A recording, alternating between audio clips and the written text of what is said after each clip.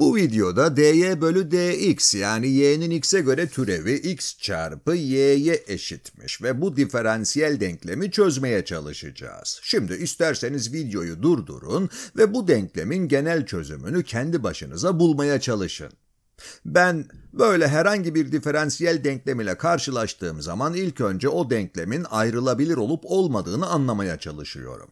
Ayrılabilir olup olmadığını anlamak için y'leri ve dy'leri bir tarafa, x'leri ve dx'leri diğer tarafa toparlayabiliyor muyum diye bir bakıyorum. Ve bu denklemde bunu yapabiliyoruz. Çünkü bunun gibi diferansiyel denklemler ile uğraştığımız zaman diferansiyel ifadelere birer cebirsel değişken gibi davranmak kabul edilebilir oluyor. Dolayısıyla her iki tarafı da dx ile çarpabiliriz. Evet, ardından da iki tarafı y'ye böleriz. Şunu şöyle biraz kaydırayım. Evet, şöyle bir yer açayım.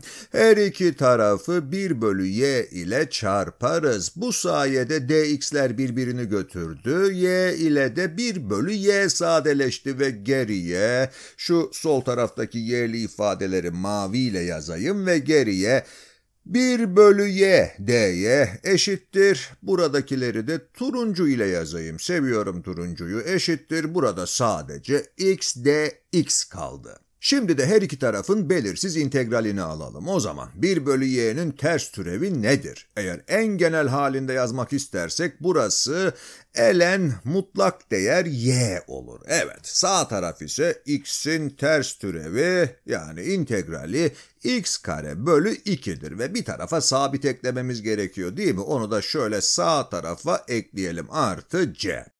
Bu da bizim genel çözümü bulmaya çalıştığımızın göstergesi. Şimdi y'yi yalnız bırakmak istersek her iki tarafı e üzeri şeklinde yazabiliriz. Bunu şöyle de düşünebilirsiniz. Eğer sol taraf sağ tarafa eşitse o zaman e üzeri sol taraf e üzeri sağ tarafa eşit olmalı öyle değil mi? Peki bu niçin işimize yarayacak? e üzeri ln mutlak değer y neye eşit olur? Evet, Evet burası mutlak değer y olarak sadeleşir. Bu da eşittir. Şimdi burada kuvvet özelliklerini biraz kullanalım. Bu ifadeyi e üzeri x kare bölü 2 çarpı e üzeri c olarak tekrar yazabiliriz. Sadece kuvvet özelliklerini kullandım. Buradaki E üzeri C'yi bir sabit olarak düşünebiliriz tekrardan. O zaman bunu herhangi bir C sabiti olarak yazalım. Öyleyse bütün bu ifadeyi C çarpı E üzeri X kare bölü 2 olarak ifade edebiliriz. Umarım burada ne yaptığımı anlamışsınızdır. Sadece kuvvet özelliklerinden faydalandım. E üzeri iki şeyin toplamı eşittir. E üzeri ilk şey çarpı